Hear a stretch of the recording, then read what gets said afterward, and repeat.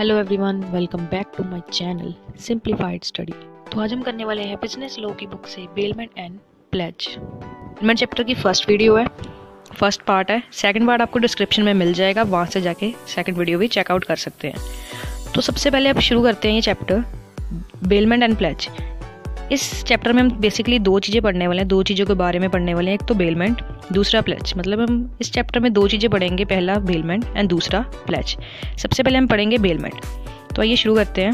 Under section 148 bailment का मतलब bailment एक फ्रेंच वर्ड से लिया गया है, जिसका मतलब है डिलीवर करना। ठीक है? कुछ भी डिलीवर करना।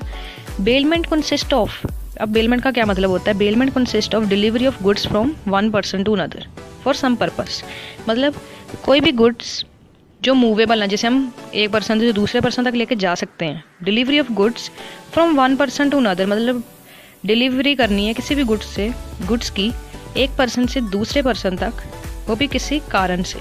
इसके एग्ज़ाम्पल देख लेते हैं। X lend his horse to Y for riding मतलब एक्स ने अपना एक हॉर्स था एक्स के पास घोड़ा था, उसने वाई को दिया। किसके लिए? राइडिंग के लिए। एक्स ने अपना स्कूटर दिया बी को यूज़ करने के लिए।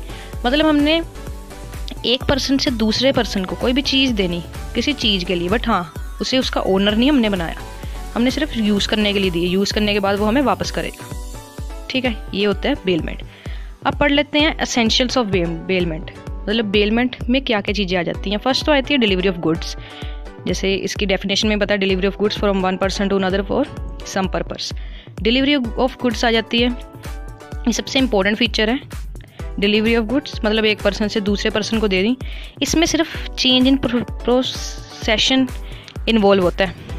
ओनरशिप नहीं होती कि हमने उसे ओनर नहीं बनाया, सिर्फ़ यूज़ करने के लिए दी है। ठीक है? असेंशियल्स ऑफ़ बेलमेंट का सेकेंड पार्ट आ गया। तो सेकंड पार्ट में क्या होगा?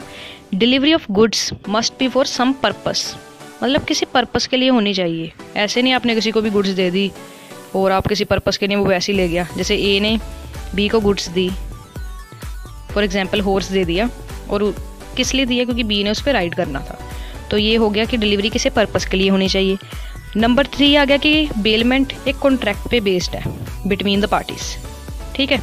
इसमें बेलर एंड बेली आ जाता है। तो आपको मैं बेली और बेलर बता देती हूँ। बेली और बेलर क्या होता है? जो एग्ज़ाम्पल से समझते हैं ए एंड बी ए ने अपना घोड़ा बी को दिया। तो इस केस में जो ए था, उसे हम क्या कहेंगे? बेलर। क्या कहेंगे उसे? बेलर। क्योंकि उसने उसे दिया और जिसे दिया, उसे हम कहेंगे बेली। ये दो शब्द हम यूज़ करेंगे, दो वर्ड्स हम यूज़ करेंगे। जिसने गुड्स दी वो है बेलर, जिसको दी वो है बेली। ठीक है? मतलब इसका थर्ड इसेंशियल क्या आ जाता है? कि जो हमने गुड्स दी हैं, वो कॉन्ट्रैक्ट के अंदर होनी चाहिए, जिसमें दो पार्टीज़ आ जाती हैं, bailor and bailee. Number fourth आ जाता है कि मूवेबल गुड्स होने चाहिए।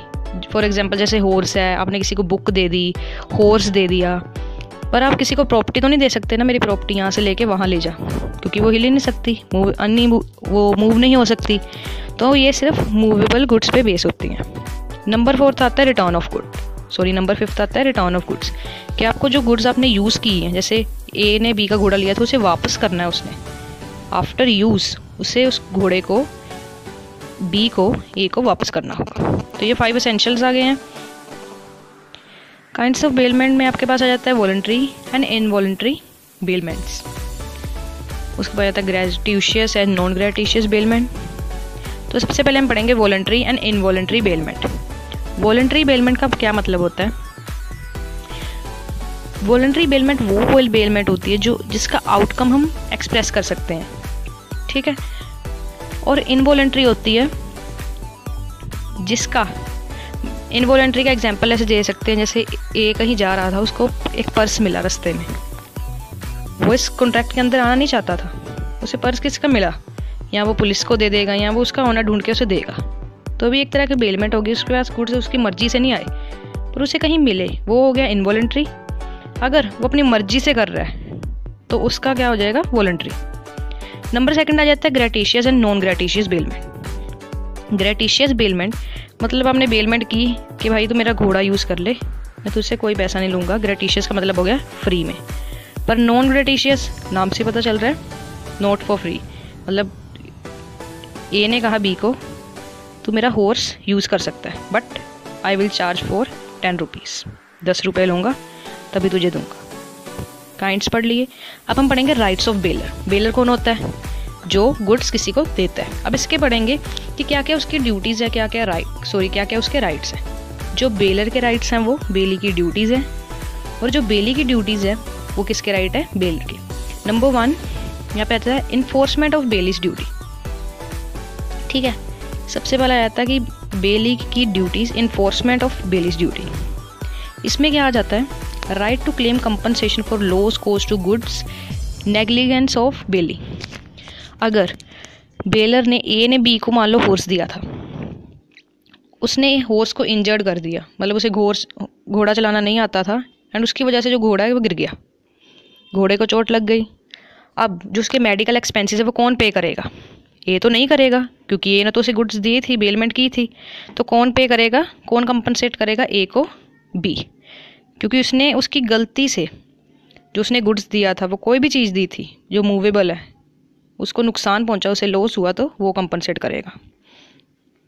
नंबर सेकंड आ जाता है right to claim compensation for authorize mixing of bailment goods with bailee's good for example कोई भी ऐसी चीज़ जो ए ने बी को दी बेलर ने बेली को दी और बेलर ने सॉरी बेली ने, बी ने, ए को गुड्स वापस की, कुछ मिला के दे दिया। फॉर एग्जांपल मान लो उसने कोई भी चीज़ दी थी, वो जो बहुत छोटी चीज़ थी या उसने कोई कीमती चीज़, मान लो उसने उसे हीरे दिए थे या कोई भी चीज़ दी थी तो उसमें बी ने अपने कोई गुड्स की मिक्सिंग कर दी, उसके थोड़े से गुड खुद रख लिए और ए के गुड्स में मिक्सिंग कर दी। तो इस केस में कौन कंपनसेट करेगा, कौन पैसा देगा? ए देगा। सॉरी बी को। बी देगा ए को। नंबर थर्ड आ जाता है right to claim damages for unauthorize use मान लो ए ने बी से घोड़ा मांगा था राइड के लिए, पर उसे वो किसके लिए यूज़ कर रहा है? कैरेज के लिए। तो इस केस में जो बेलर है, वो बेली से कंपनसेट होगा। उसके बाद है number four right to demand goods back after expiry of purpose or period मतलब मान लो, जैसे ए ने बी से जो भी चीज़ ली थी ए ने कहा मुझे एक दिन के बाद वापस दे देना। बी ने नहीं दी, दूसरे दिन आ गया। तो जो बेलर है, बेलर का ये हक बनता है कि वो बी से वो गुड्स वापस मांगे। नंबर फिफ्थ आ जाता है। आप इसके फाइव पॉइंट ही कर लें फोर पॉइंट ही कर लें, ये इंपॉर्टेंट है बाकी। शॉर्ट में भी आ जाता है आपको। उसके बाद आता है number fourth right of termination end of contract मान लो मतलब जैसे बेलर ने बेली को गुड दिए बट बेली ने उसका गलत इस्तेमाल किया, या उसे जो भी कहा था, उसने उसका उल्ट किया। जैसे हॉर्स राइड के लिए लिया था कैरेज के लिए यूज़ कर लिया। तो वहीं पे ये राइट बनता है बेलर का, कि जो कॉन्ट्रैक्ट है उसे टर्मिनेट कर दे, ख़त्म कर दे। नंबर थर्ड है restoration of goods land gratuitously A ने बी को गुड्स दिए फ्री में दिए थे तो फ्री में मेरा हॉर्स या मेरा स्कूटर यूज़ कर ले. बट अगर कुछ स्कूटर में ख़राबी आ गई, या कुछ भी हो गया, उसके गलत तरीके के साथ उसे लॉस हो गया तो वो कौन, उसे कौन ठीक करा के देगा? बी बेली देगा. नंबर फोर्थ है right to file a suit against any wrongdoer मतलब कोई भी उसने रोंग एक्ट किया है बेली ने, बेलर के गुड्स गुड्स के साथ कोई भी रॉन्ग एक्ट किया है तो जो बेलर है, जो ए है, वो उसके पास हक है कि वो कोर्ट में केस करवा सकता है कि इसने मेरे जो गुड्स के साथ गलत तरीके से यूज़ किया तो ये कोर्ट में केस फ़ाइल कर सकता है बेलर। उसके बाद आ जाता है ड्यूटीज़ ऑफ़ बेलर बेलर की क्या क्या ड्यूटीज़ बनती हैं?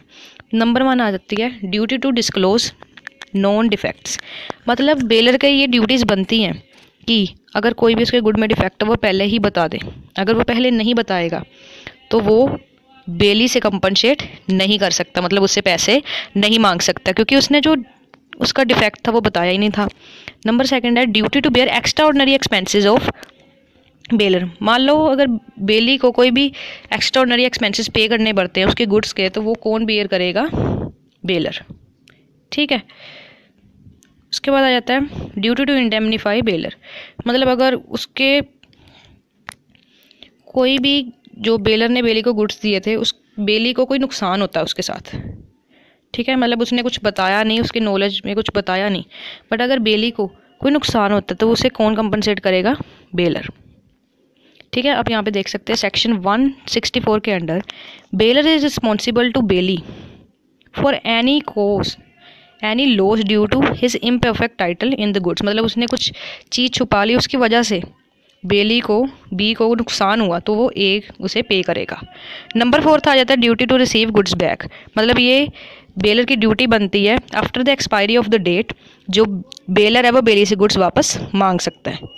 नंबर फिफ्थ आ जाता है duty to bear normal risk मतलब अगर कोई भी नॉर्मल रिस्क होगा तो उसे बेयर करना ही पड़ेगा। अगला पार्ट है rights of bailee number one है enforcement of rights the bailee can sue मतलब बेली जो है वो कोर्ट में केस करा सकता है enforceable the duty of bailor मतलब जो ड्यूटीज़ हैं बेलर अपनी जो अगर ड्यूटीज़ नहीं निभा रहा है तो बेली उस पर केस कर सकता है।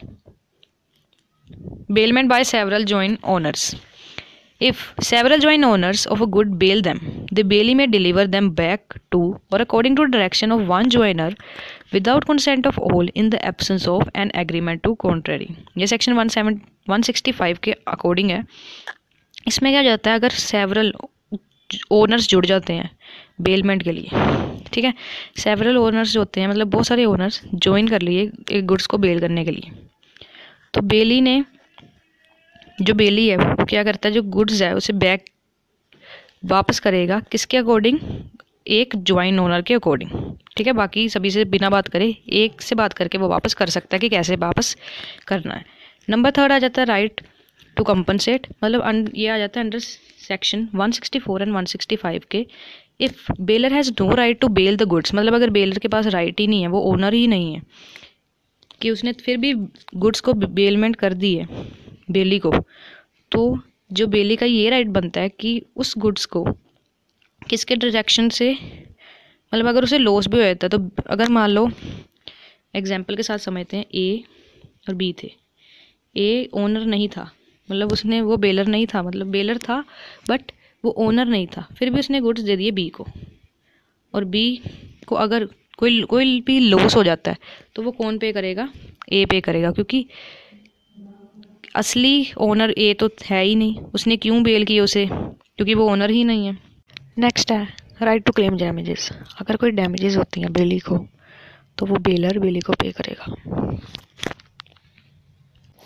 नेक्स्ट है right of third person claiming goods bailed अगर किसी थर्ड पर्सन ने बेली को गुड्स दे दी हैं बट वो ओनर नहीं है तो बेली क्या कर सकता है? स्टॉप कर सकता है उसकी डिलीवरी बिकॉज़ जो उसे गुड्स डिलीवर कर रहा है, वो रियल ओनर तो है ही नहीं तो वो उसकी जो डिलीवरी है वो वहीं पे वही स्टॉप कर सकता है।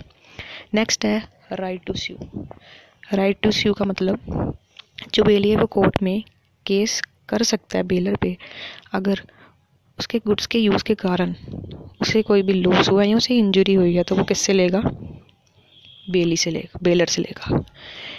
नेक्स्ट है right of lien bailee also enjoy the right of lien too तो आज की वीडियो में बस इतना ही।